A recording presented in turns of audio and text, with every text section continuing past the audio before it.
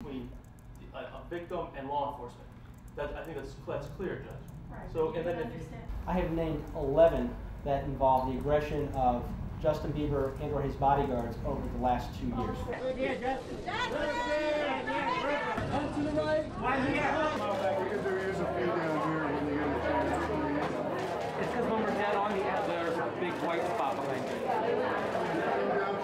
you. When when somebody does something intentional, they are absolutely uh, to be held accountable for that, not just for the, the damages that they create to the person individually, but also the deterrent effect uh, in the future for anything else that they might do so they don't repeat this conduct.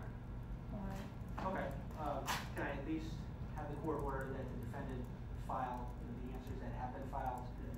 Mr. Bieber has to litigate this against a plaintiff who has no damages whatsoever, who admitted that he wasn't even uh, uh, injured in any way.